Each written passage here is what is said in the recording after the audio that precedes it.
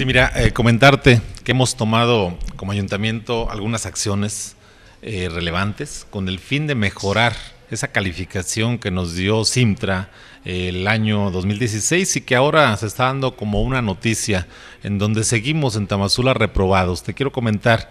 que eh, Tamazula no se ha evaluado el 2017, la calificación que se está haciendo pública y que no se si nos lo han notado, que en la misma tabla donde están haciendo la publicación habla de una calificación de marzo del 2016, que es la misma calificación del año pasado. A raíz de esto, nosotros implementamos algunas acciones. Entre ellas, pues si ustedes se dan cuenta, cambiamos al titular de transparencia del municipio y hoy con la eh, persona que está al frente, pues está llevando un trabajo muy serio un trabajo en donde ya se ha integrado la información a, la plataforma, inclusive a la plataforma nacional. Nosotros hemos estado haciendo nuestro trabajo, eh, nos da tristeza que de repente se nos maneje como un municipio reprobado en transparencia cuando sabemos que estamos ya eh, por encima, por encima eh,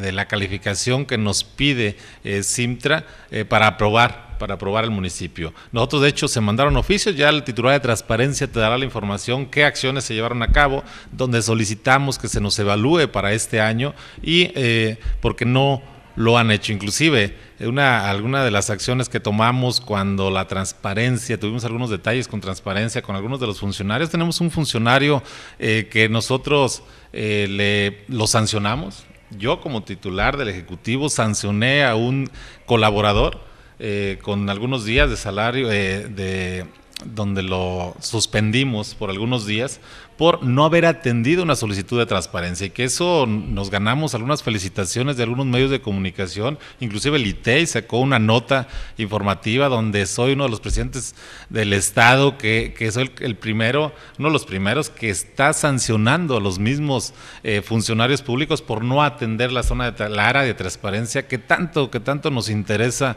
a nosotros como, como presidentes. Entonces, estamos haciendo el trabajo, estamos haciendo lo necesario para que nuestro municipio se vuelva a colocar como un municipio transparente como siempre lo ha sido Tamazula.